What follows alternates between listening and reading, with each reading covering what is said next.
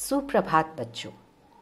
अर्थात good morning आप सभी बच्चे केजी से स्वर और व्यंजन सीख कर आए हैं। आज क्लास वन में आपकी पहली हिंदी क्लास होने जा रही है।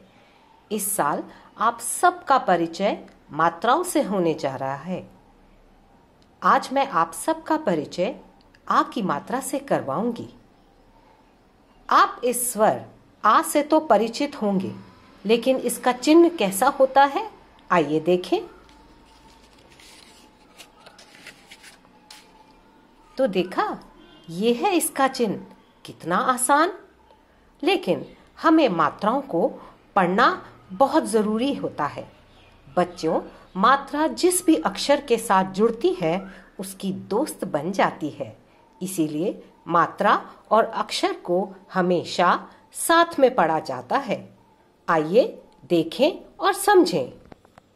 ये है अक्षर क। इसमें लग गई